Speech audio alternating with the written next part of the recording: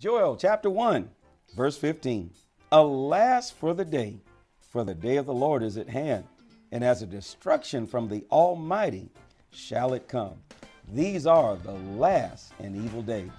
Oh, many people will tell you that they've heard it all their life that Jesus is coming back. Why is he taking so long? Uh, give us an explanation of why does it seem like there's such a delay.